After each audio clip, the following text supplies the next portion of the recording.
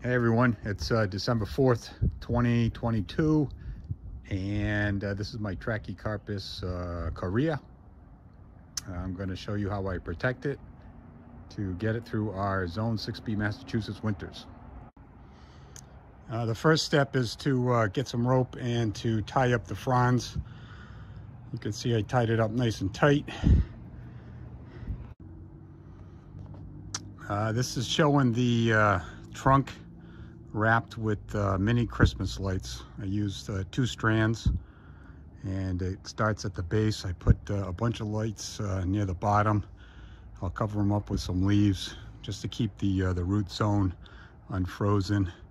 And then I um, wrap up the trunk with Christmas lights.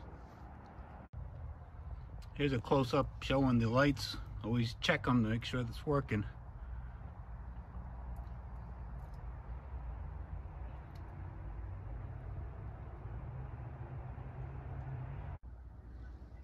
Now I took some uh, frost cloth and wrapped it a couple times just to keep the, uh, the heat coming from the small lights near the trunk itself and it rises up through the leaves and out.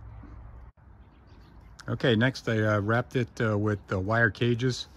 These are uh, four and five foot tall wire cages I have, similar to this.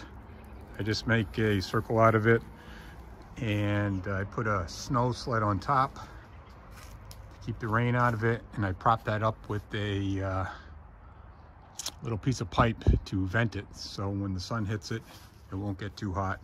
I'll come back in a few minutes I'll stake it anchor it down to the ground and uh, cover it with uh, poly uh, sheet wrapping. Here's the finished product I just uh, wrapped it with the poly shrink wrap. I got the snow sled on top. I put a big brick on top so it doesn't blow off and it is vented. Got to vent this because a lot of sun gets in there. See the vent up there?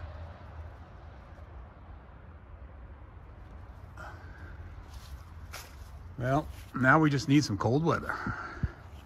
Thanks for watching, everyone.